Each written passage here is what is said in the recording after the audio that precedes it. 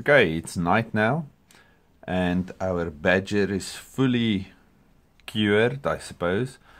Um, I washed it, I scrubbed it, and I relubed everything, and this is what we have. A beautiful red, almost burgundy color. Tell me that's not the most pretty thing you have ever seen. Little smiling badger there in the middle. Beautiful. The action might even be better now that it's red. Okay, good night. Stay safe, happy, and have a good one. Bye.